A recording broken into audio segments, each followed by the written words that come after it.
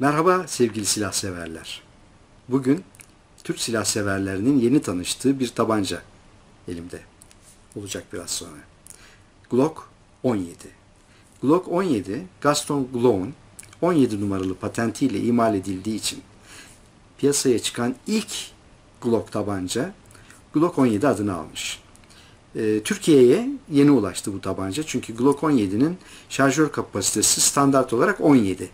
Ancak Türkiye'de e, yasalar e, 15 mermi ata, e, kapasiteli şarjörden daha büyük kapasiteli şarjörlere izin verilmediği vermediği için Glock Türkiye için özel olarak TR olarak 15 mermi atan şarjör ki 17'ye değiştirilemez. O şarjörün içi özeldir. Kesinlikle 15 mermi atar. E, 15 mermilik şarjörle Glock 17 Türkiye'ye ithal edildi ve silah severlere ulaştı. Biliyorsunuz Glock tabancaları Glock 19'dan e, çeşitli tanıtımlar, videolar yaptık ama burada önemli olan Glock 19 ile Glock 17'nin arasındaki temel farklar. Şimdi oraya geçmeden önce bugün işini gücünü bırakıp nakil belgesi alıp tabancasını poligona sizler için getiren Kerem kardeşimize bir teşekkür etmek istiyorum. Şöyle alabilir miyim? Evet. Sil- Silah severler, silah severler şöyle bir tanısın. Evet, Kerem kardeşimin bir merhaba de ya. Merhaba. Hocam asıl biz size teşekkür ediyoruz. İşinizi gücünüzü bırakıp Rica bize ederim. bu tip videoları hazırlayıp Rica ederim. bilinçlenmemizi sağladınız. Rica ederim. Çok çok teşekkürler Biz Kerem. teşekkür ederiz. Evet, gelelim Glock 19'a. Tabii ki ilk yapacağımız şey ne? Güvenlik kontrolü. Silahın atım yatağının boş olduğunu, şarjör yuvasının boş olduğunun, şarjörün de boş olduğunu görmek bizim en önemli e, hareketimiz. Şimdi Glock 19 ile Glock 17 arasındaki temel farklardan bir tanesi boyu, boyutları. Bir tane Glock 19 var elimde Gen 3. Şöyle bakarsak bir kere namlu uzunlukları ve de sürgü uzunlukları farklı. Baktığımız zaman gövde de farklı. Çünkü bir tanesi 17'lik, bir tanesi 19 e, 15'lik şarjör almaya elverişli. Ve kabza geometrileri de farklı. Her ne kadar sol elimdeki tabanca Glock 19 3. nesil yani kabza sırtı değişmeyen cinsten sağ elimdeki Glock 17 kabza sırtı istediğiniz gibi değişen cinsten olsa dahi e, Glock 19'un ka- Glock 17'nin kabza yapısı 19'a nazaran biraz daha kaba. E, daha küçük elli atıcılara çok fazla uygun değil. Glock 19'u ben o açıdan daha fazla tercih ediyorum. Çünkü ön tarafı biraz daha yuvarlak, atıcının el anatomisine daha güzel uyuyor. Ama tabii ki Glock 17'de bir efsane. E, namlu uzunluğu, sürgü uzunluğu ve gövde uzunluğu bariz dış görünüşteki farklar. Ama burada önemli olan dış görünüşteki farklar değil, içteki farklar. Çünkü Gaston Glock ve teknik ekibi Glock 17'yi e, tam boy tabancayı e, compact e, model olan Glock 19'a dönüştürürken sadece namlu boyunu ve e, gövde e, kabza altını kısaltmakta kalmamış. Bütün iç yapısı değişik tabancanın. Tekrar bir kontrol edelim. Diğerini de bir sökelim.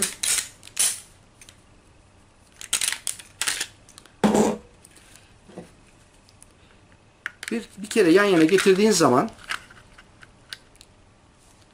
kızak mesafeleri arkadaki ve öndeki kızakların mesafeleri Glock 17'de Glock 19'dan çok daha fazla. Rahat görebiliyorsunuz umarım. Dolayısıyla sadece tırpanlanmış, kesilmiş bir tabanca değil. Ee, kilit yapıları çok değişik.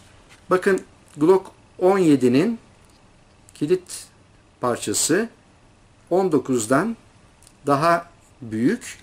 Keza namlu altlarındaki şöyle yaparsak ikisini birden namlu altlarındaki kilit takozları her ikisinde de değişik. Glock 17'ninki Glock 19'dan daha iri ve daha büyük. Yaylar tabi bu şeyin özelliği. Dördüncü nesil yaylar, teleskopik yaylar. Bu üçüncü nesil yay. Yayları kıyaslamamak lazım. Çünkü dördüncü nesil Glock 19 ile dördüncü nesil Glock 17'nin e, yay görünümleri tamamen aynı. Ama yayları aynı, değil bildiğim kadarıyla. E, onun haricinde fiziki olarak çalışma sistemlerinde bir değişiklik yok. Aynı şekilde güvenli bir tetik e, ve striker fire yarı kurulmuş tam kurulmamış bir iğneyle çalışan sistem. Bunun teker teker şeylerine girmeyeceğim. Artık e, Glock 19'un detaylı incelemelerinden görebilirsiniz. E, hatta bir e, şeyimiz vardır, videomuz vardır. Glock'un tamamen çalışma prensibini, iç yapısını e, çıplak kesik bir gövdede gösteren bir videomuz vardır. E, onun da linkini bağlarım bu şeyin bir yerine, videonun bir yerine rahat bulabilirsiniz diye. E, oradan görmek imkanı var. Çok fazla detaya girmeyeceğim ama e, gördüğüm kadarıyla Glock 17 ile Glock 19'un arasındaki temel farklar bunlar. Nereden biliyorum bunu? Ben bildiğimden söylemiyorum. Geçen hafta e, men savunmadan Sayın Engin Bey ile bir aradaydık Ankara'da. E, ona sordum. Yani usta dedim, üstadım dedim. Yani nedir arasındaki farklar? Şunu bana söyle de ben de millete satayım. Yani benden değil bu bilgi. E, işin kaynağından, üstadından geliyor. Onu da sizlere söyleyeyim. E, selamları var bu arada bütün Glock severlere. Evet, e, silahın toparlanması da aynı şekilde hiçbir e, müdahaleye gerek kalmadan yerine takıyorsunuz. Çalışmaya başlıyor. Tekrar bir kontrol tetiği düşürelim. Ha, tetik tetiğe baktığım zaman e, Glock e, 4. nesillerin geleneksel biraz daha sert tetik e, tetiğini hissediyorum bunda da. 3. nesillerde biraz daha yumuşaktı. Dördüncü nesillerde biraz daha sert bir tetiği var. O e, tetik kolundaki bir e, çıkıntıdan çıkıntının sürgüye sürtünmesinden e, oluşuyor. Onun haricinde fa- fazla bir fark yok. Atış yapar mıyız? Hay hay. Yaparmışız. Yaparız. Biraz sonra da bu videonun sonuna e, bir beş tane atarız. Onu da ekleriz.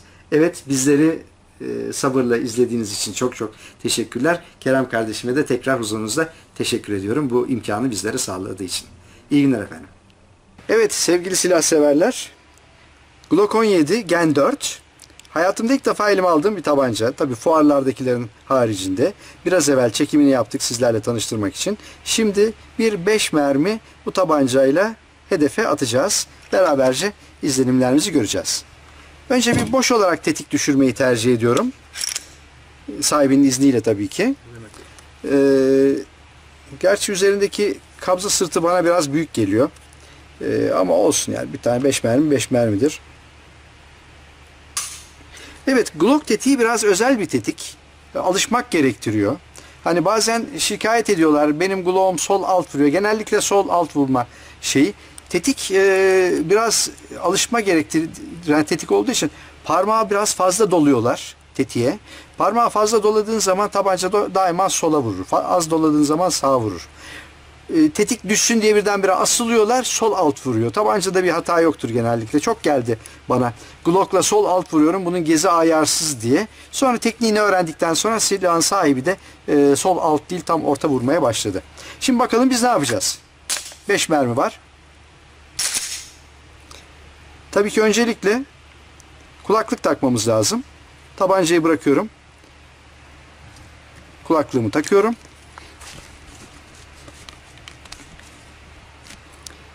Tekrardan alıyorum. Tetik disiplinine dikkat ediyoruz. Evet ya Allah bismillah. Bakalım nereye gidecek.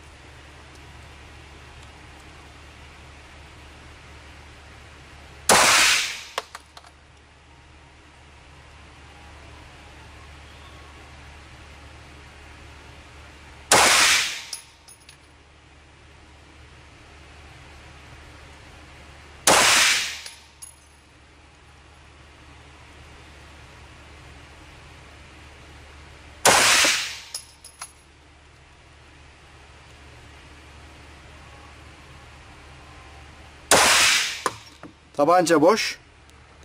Çağıralım bakalım gelsin. Oldukça kontrollü bir silah. Söylediğim gibi kabzanın büyüklüğü e, düzgün atmama biraz mani oldu. Gördüğünüz gibi ya da göremediğiniz gibi 3 tane burada var. Aynı delikten geçmiş. 4-5. Biraz sola vurmam. Biraz evvel söylediğim gibi tetiğe benim de parmağımı fazla dolamamdan e, kaynaklandı. Kabza biraz büyük olduğu için e, öyle yapmak zorunda kaldım. Kabzayı benim elime uygun bir kabzayla bu grupmanı ortaya toplamak imkanı vardı. Evet tabii namlunun biraz uzun olması güzel bir grupman yapmasını sağladı. Yani şu kaçak bunu olduğu gibi ortaya getirirseniz ki 3 mermi aynı delikten geçti. Tabanca bayağı başarılıdır diyebilirim. Evet iyi günler sevgiler.